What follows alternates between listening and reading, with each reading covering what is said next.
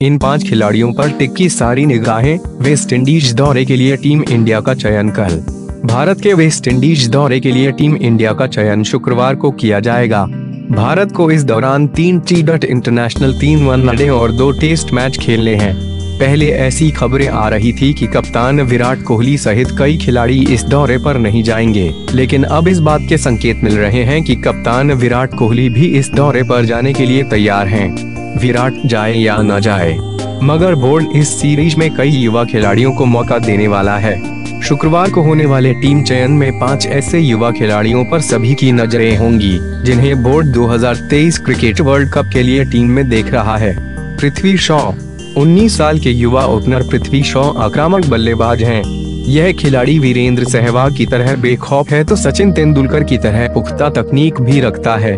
Team India को under 19 विश्व cup दिलाने वाले पृथ्वी ने अब तक केवल दो टेस्ट मैच खेले हैं, लेकिन वे शतक बनाने वाले दूसरे सबसे युवा बल्लेबाज बन गए थे 18 साल 10 महीने और 25 दिन की उम्र में राजकोट में पहला टेस्ट खेलते हुए शॉ ने एक रनों की पारी खेली थी।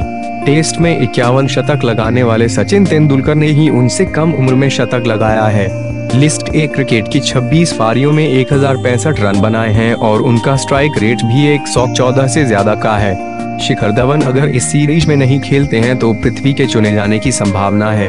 मयंक अग्रवाल वर्ल्ड कप 2019 के सेमीफाइनल में पहुँचने से पहले टीम इंडिया चोटिल खिलाड़ियों से जूझ रही थी। ऑलराउंडर विजय शंकर के चोटिल होने के कारण मयंक अग्रवाल को उनकी जगह शामिल किया गया।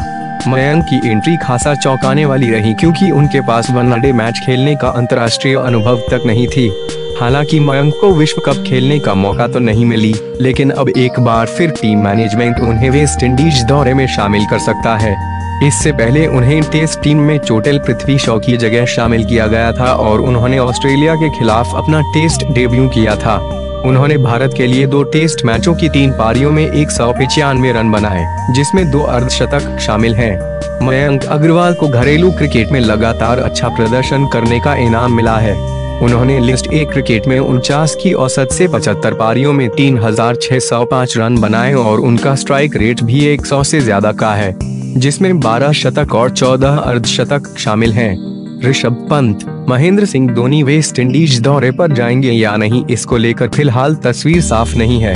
कहा जा रहा है कि इस दौरे पर वो नहीं भी जा सकते हैं। इस बीच माही पर चयनकर्ताओं द्वारा संन्यास लिए जाने की खबरें भी जमकर वायरल हो रही हैं। इन हालातों में टीम मैनेजमेंट, धोनी के उत्तराधिकारी माने जाने वाले ऋषभ पंत पर एक बार फिर भरोसा जता सकता है। पंत को वेस्ट इंडीज दौरे के लिए विकेट कीपर बल्लेबाज के तौर पर टीम इंडिया में शामिल किए जाने की पूरी संभावना है। युवा ऋषभ पंत को अगले साल होने वाले वर्ल्ड टी डट के लिए तैयार करने की ज़रूरत है।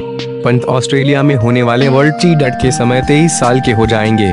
उन्होंने अपनी प्रतिभा को साबित किया है, लेकिन कुछ काम करने की ज़रूरत है। एक साल का समय इस बदलाव के लिए काफ़ी है। श्रेयस अय्यर, यह युवा बल्लेबाज भी टीम इंडिया का भविष्य है। अभी तक अय्यर को इंटरनेशनल क्रिकेट में छह वनडे और छह टी डट खेलने का ही मौका मिला है। वनडे में उन्होंने दो फिफ्टी जमा कर खुद को साबित भी किया है इसके अलावा पिछले दो सीज़न से वे आईपीएल में दिल्ली कैपिटल्स डीसी की कप्तानी भी कर रहे हैं आईपीएल में कप्तानी कर रहे वे सबसे युवा कप्तान हैं। इन दिनों अयर भारत ए की ओर वेस्ट इंडीज दौरे पर हैं। वह भी उनके बले से रन निकल रहा है ऐसे में आने वाले वक्त में अगर श्रेयस अयर टीम इंडिया के नंबर चार क्रम की शोभा बढ़ाए तो किसी को कोई आश्चर्य नहीं होगा नवदीप सैनी, दिल्ली का यह तेज गेंदबाज इस रणजी सीज़न से ही अपनी धारदार गेंदबाजी से सभी को प्रभावित करने लगा था। इस सीज़न आईपीएल में उन्हें विराट कोहली की रॉयल चैलेंजर्स बैंगलोर आरसीबी में मौका मिला तो उन्होंने यहाँ भी अपनी छाप छोड़ी। बॉलिंग की रफ्तार और सटीक लाइन लेंथ से दुनिया भर के बल्लेबाजों को परेशान किया। दुबले पतले लेकिन लंबे नवदीप सैनी के खेल से टीम मैनेजमेंट इतना प्रभावित हुआ कि उन्हें वर्ल्ड कप में रिज़र्व गेंदबाज के तौर पर शामिल किया गया। नवदीप मौजूदा वक्त में वेस्ट इंडीज में ही है, जहाँ वे इंडिया ए की ओर से खेलते हुए वेस्ट इंडीज ए के बल्लेबाजों की धज्जियाँ उड़ाते देखे जा सकते हैं।